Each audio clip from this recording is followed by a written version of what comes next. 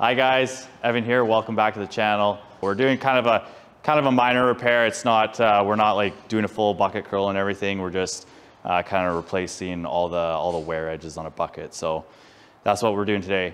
Uh, we checked with the client see if they wanted to do the cutting edge. They said no, so we're not doing it.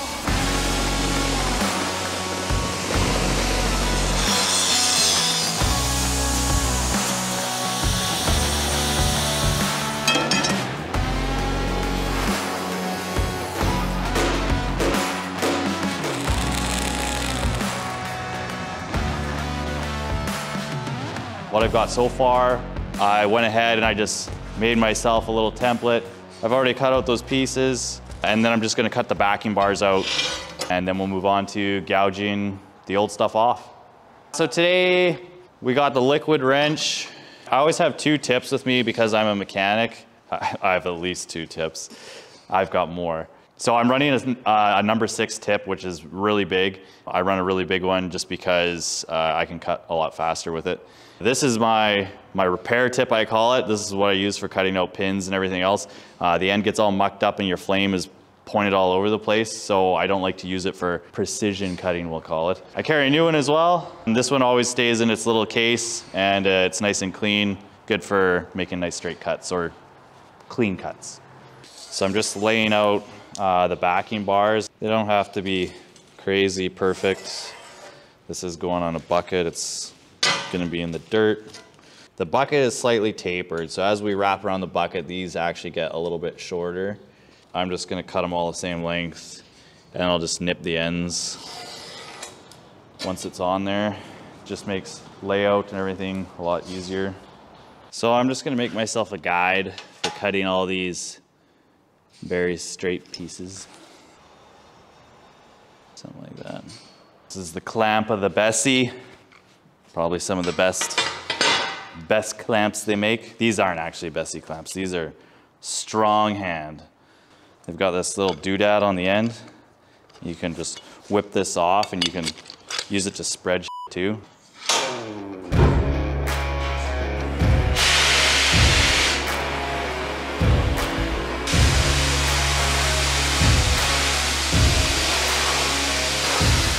Uh, yeah, I'm gonna cut the, the remaining four cuts freehand, uh, just because I've never been a guide fan and it's, since you're dragging the torch head on it, it's kind of sticky, like it provides a point of friction. And so it's kind of a little jerky. It always sounds better than it actually works for me, so I just say screw it and freehand it. Freehand.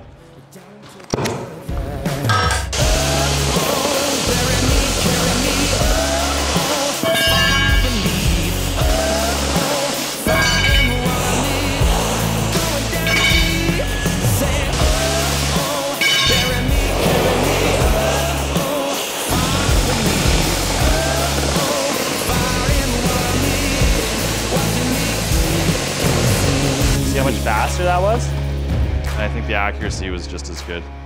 So I'm just gonna clean up all the edges uh, of all these pieces that I cut and then we'll just get all the slag off. And then uh, we're gonna set up and we'll start gouging the old stuff off the other bucket there.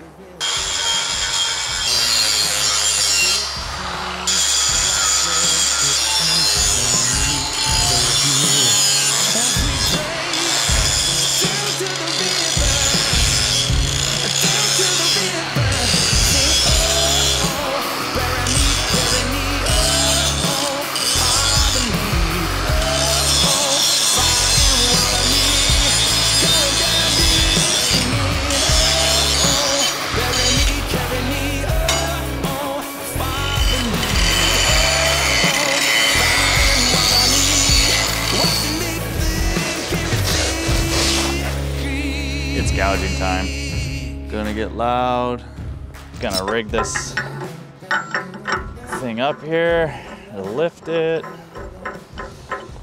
Use a little trusty here.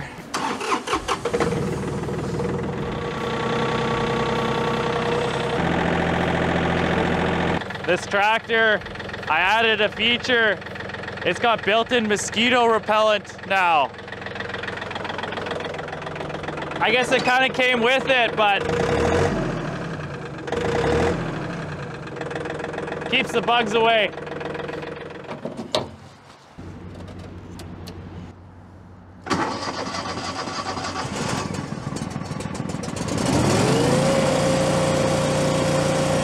So this will get really loud and sparks are gonna be flying everywhere. I'm gonna try and shoot the sparks all kind of this-ish way.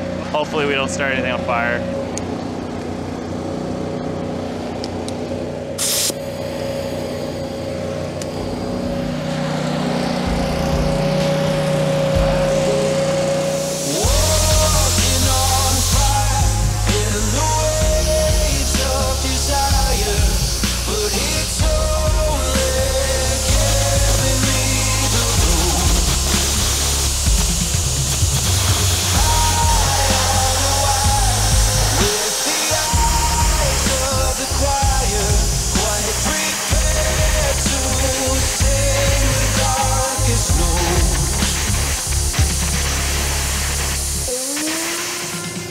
Gouging, you're essentially taking the like the weld nugget out and you want to take as little as possible of the parent material, meaning the material that you need to save that you're going to reuse. So I try and gouge as much as I can into these bars because these are what we're replacing. So if you look, you can see this is the weld. You'll never find a seam in a weld to be like right where the corner of the parent material or the material being welded on to the parent material. You'll never find the seam when you're gouging to be like right where you would see it right now. The weld nugget always goes past this corner. It's always inside a little bit. So I just gouge past where this backing bar meets the, the base metal here. And then you can see I've like washed, I've started to wash the backing bar away from where the weld is to uncover that seam. And then I just follow it, follow it right to the end.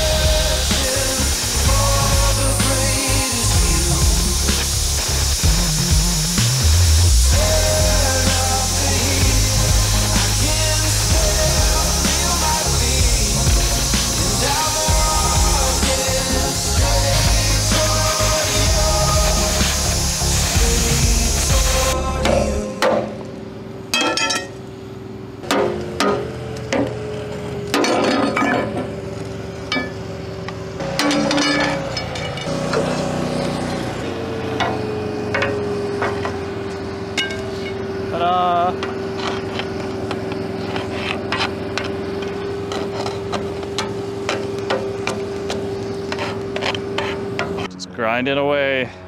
Just getting her prepped for welding the new stuff on.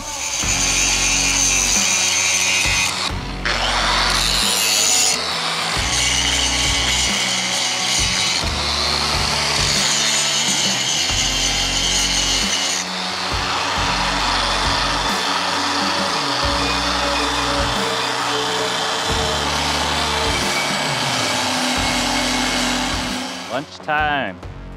It's lunchtime. You can put the camera down. You've got an addiction, man. You need to call someone.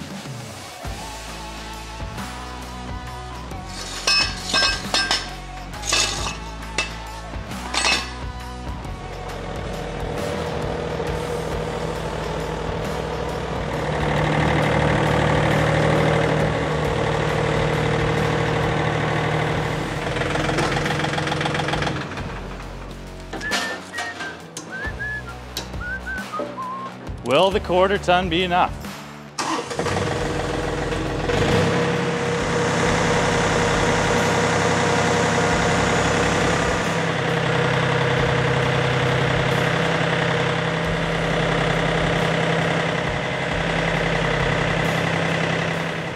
Oh yeah.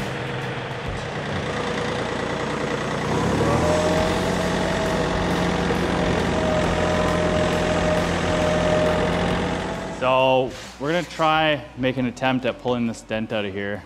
So I've cut some pieces of three quarter inch flat bar. It's actually those two pieces up against the wall. And we're gonna put those inside. I'm gonna weld them on edge and then put a 20 ton jack on it. And then we'll push up against the dent. I'm gonna heat this up red hot up here.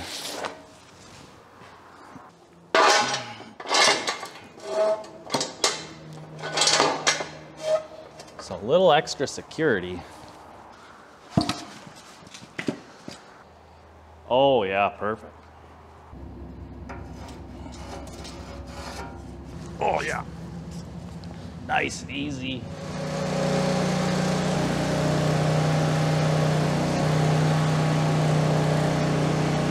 I was thinking about doing this a different way, but now I'm just like, I just kind of said, F it, I'll just do it like this. Oh, so easy.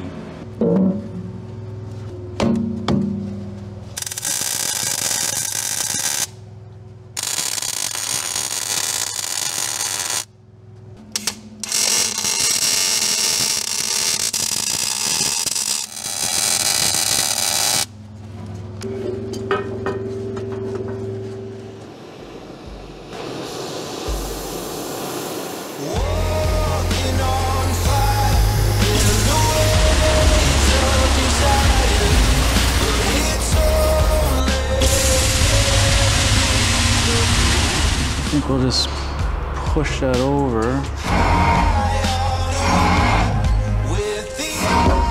It's going.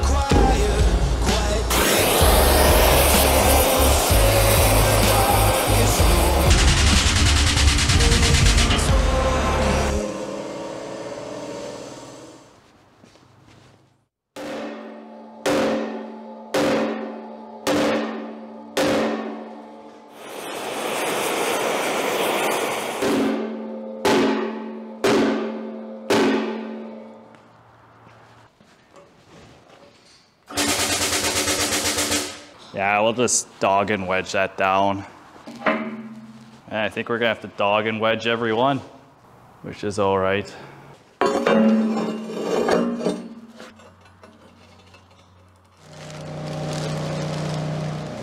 There we go. Ta-da! Way easier if the bucket was on its side. I need a crane, shop crane. That'd be a lot less work than always moving everything around.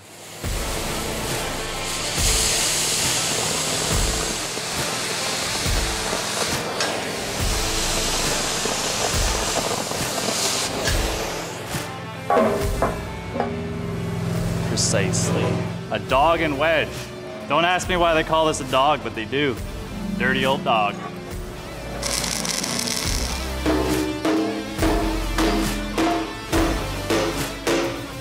Oh, dude, this is so much better.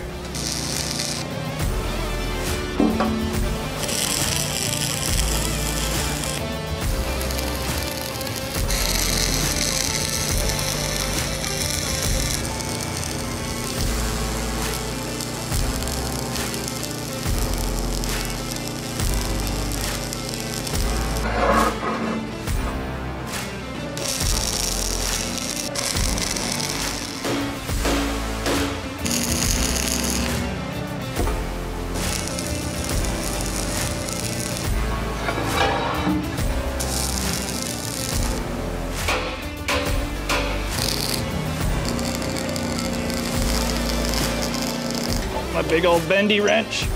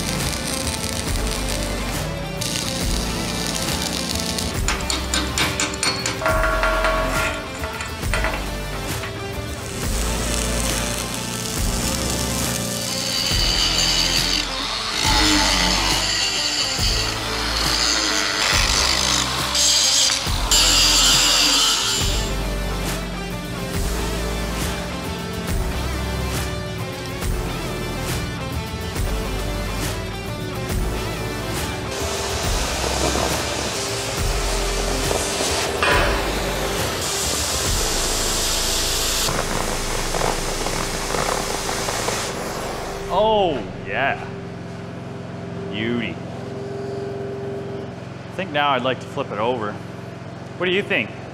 I think so. It's a good call. And I'm like trying to like gently. Uh, I'd try it.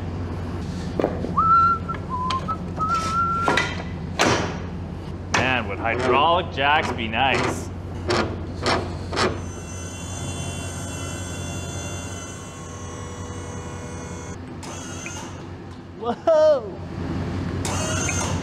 Running this thing.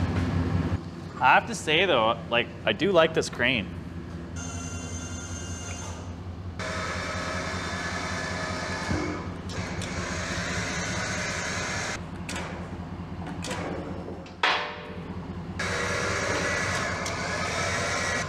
Yeah, so what I did, these put on edge has a lot of vertical strength because it's highly unlikely you're gonna bend it on edge this way versus if you had them flat this way, right? I just put a plate across this side here and then I had my bottle jack on top of that and was pushing on the dent there. And it actually came out reasonably well. I'm just gonna cut those out.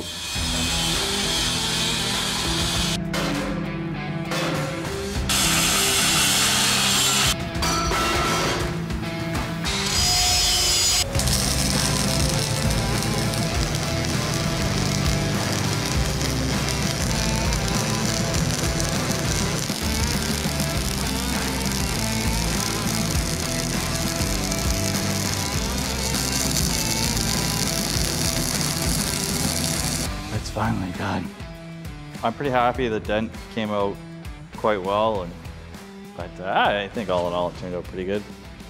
All right, so uh, we're done the bucket here. So what we did is we just gouged off and welded on new backing bars on the bottom because they were getting kind of thin.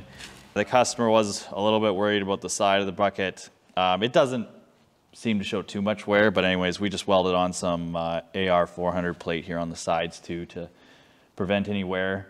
Some of you might be like, well, why aren't you hard facing that? I wanted to, and I offered to do it for the customer, but the customer didn't want to. So, same with the cutting edge. Some of you might look at the cutting edge and be like, well, how come you didn't fix that? Uh, again, the customer just didn't want to do that. He says he doesn't need a cutting edge, so we just did this. Uh, we popped the dent out of the back, and that's that's it. That's uh, this is a fairly basic bucket repair, so many times we go more in depth and we'll cut out the bottom or put new sides on or whatever. But anyways, this kind of gives you a little bit of an idea of what it's all about. Thanks guys for watching, and uh, we'll see you next time.